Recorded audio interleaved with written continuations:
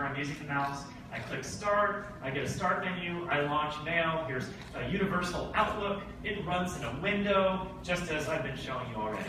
Now when I remove the keyboard and mouse, it prompts, should I enter the tablet mode? And when you say yes, the app is maximized.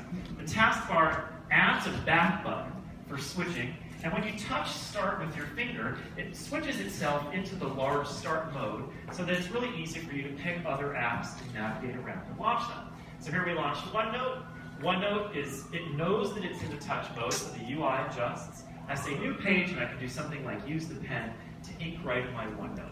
If I want to switch apps, I can go back to start, or I can use the familiar taskbar that I've known for years, and I have a simple, convenient way to do this.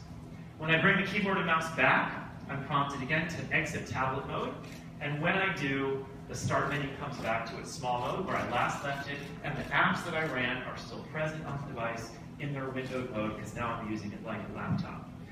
When we've shown this to people, we've shown this to a lot of partners, enterprises,